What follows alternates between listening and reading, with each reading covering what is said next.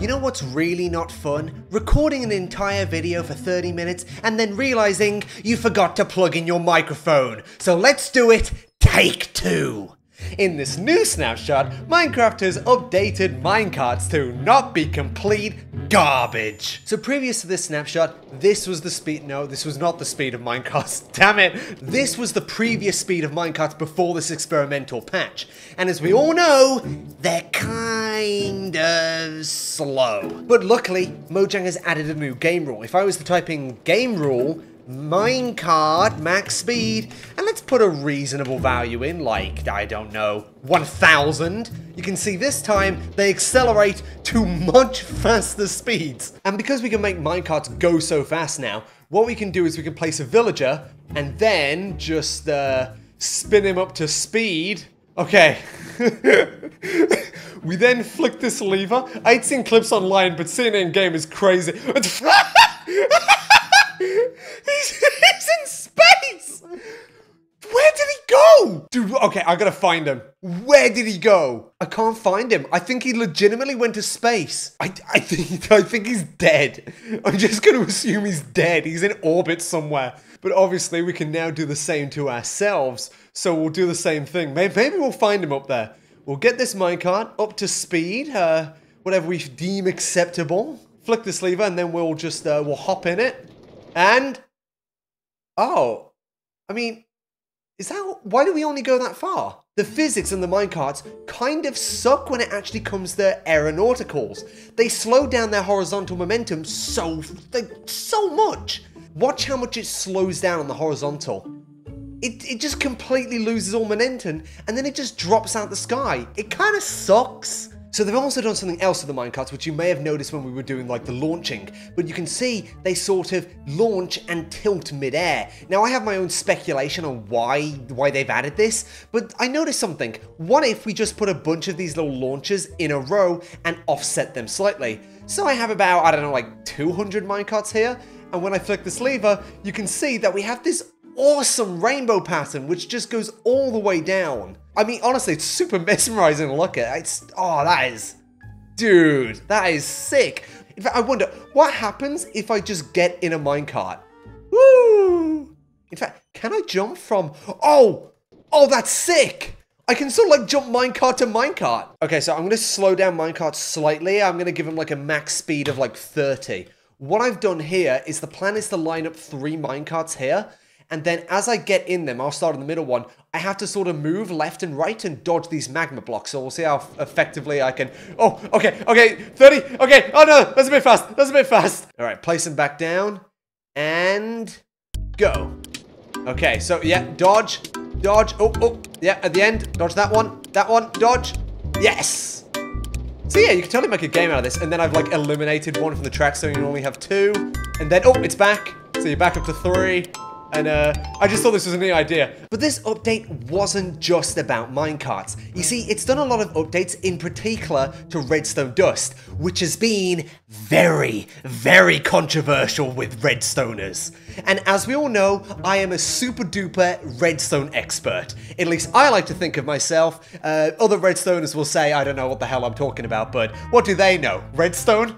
Unlikely. When you have two conflicting pistons or things which are conflicting, uh, it will now prioritize the one which is closest to the source. So if I put the lever on the left side here, the left piston will always activate. However, if I put it on the right, the right piston will always activate. Uh, but the thing which is really controversial is if the lever is in the middle. You see now, because it's halfway between the two, it is random. And Redstoners, they do not like randomness. They were going, oh, I would prefer it if it just worked some of the time. No, no, no, they're wrong. Because you want to know, you want to know my hot take about this? When is this ever going to come up in a redstone design? I'm serious. Because when are you going to use this where you can't just extend one of the things? If you need the left one, make it so the left one will activate. Or if you can't extend it, how hard is it to just stick in a repeater? This would only affect the nichest, the nichest and stupidest like redstone contraptions. These people complaining, they're just being a bit arsey if you ask me. But there has been some other redstone changes which I am not happy with whatsoever. And this pertains to redstone updates. So first I have to explain quasi-connectivity. If you don't know what quasi-connectivity is, oh boy! Basically, pistons are doors. If I was to extend this lever here, this piston is powered, but it doesn't know it yet. As soon as I was to update this piston by like uh, placing a block next to it, it suddenly goes, oh, I'm powered! And then it extends. But part of the thing is, the piston doesn't necessarily know it, it needs to be updated. This can also be updated by playing a note block. Previously, pistons could be updated with quasi-connectivity if they were updated by redstone dust activating. But redstone dust was unique, because redstone dust uh, needs to update other dust, going, hey, this is powered, hey, you're powered, hey, you're powered, hey, you're powered. They had the unique functionality of giving block updates two blocks away. This no longer will give the block update. This is really, really bad. I know it may not sit, look, look, this is the technical side of the video. Just bear with me because this is important. So over here, I'm going to place some yellow concrete. And then what we'll do is we'll just place some redstone on top. The yellow concrete represents areas that redstone dust used to update. So when I'd flick on this lever, it would update all this yellow line. It would update two blocks around it on the side, as well as it would update on top as well. And this had part of the problem that it would actually be very laggy for larger redstone machines. So in aid of performance, what Mojang has done is eliminated it, so redstone no longer updates this, it no longer updates this, it no longer updates any of this, it only updates this one block on the side. It doesn't even update the blocks it's on. And this has issues because it doesn't even update this block on the end if it is a transparent block, such as air or even glass. Now this, this is kind of like a niche thing if you're not really into redstone, but it actually has a huge knock-on effect. Another example would be something like this. Again, the piston usually would extend.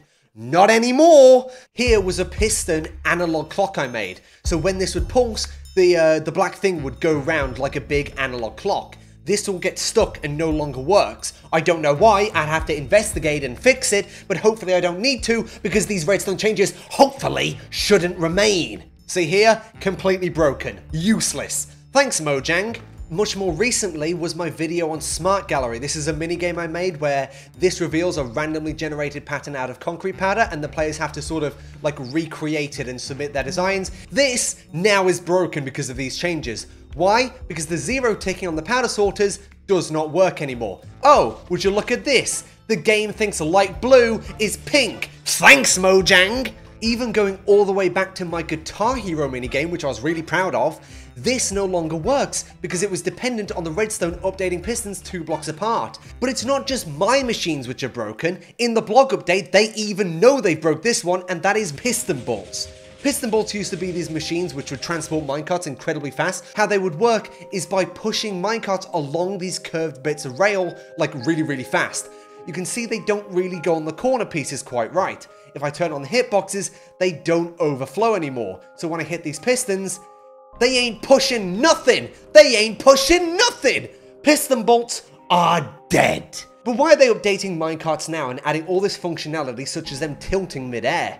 Because I don't think they're done with minecarts. I think they're going to be adding a lot more stuff. Maybe we add tracks which allow, like put tracks on vertical walls or even vertical to allow us to make loop-de-loops. Or at least I hope so, because that'd be really cool. Please do something cool, Mojang. Please, please, please. Loop-de-loops. I've always wanted to roller coaster with loop-de-loops. What I have here is just a standard piece of track with a slope and a piece of powdered snow above it. And I'm also going to bring up the F3 screen for no particular reason. You can see we're at minus 60 in height. Let's get in and boom! We are now 800 blocks in the air. Why? I mean, we are literally above the clouds. You'll see them coming to render distance. I don't know why this is a thing. I really don't know how this is like what? I don't know why powdered snow sends you to heaven. Maybe because they're both fluffy. I don't know what's going on, to be honest. We can say what we want about this minecart update. They did actually make minecarts faster. So I know at least one person who's very happy right now. So if you don't want to see these horror changes in the game, in the description is the Mojang feedback form. Whatever you do, don't fill it out with horrendous insults and death threats. Don't do that. I don't do I'm serious, don't do that. You know Mojang featured one of my videos in a Minecraft Monthly? Yeah, I don't think that's happening again.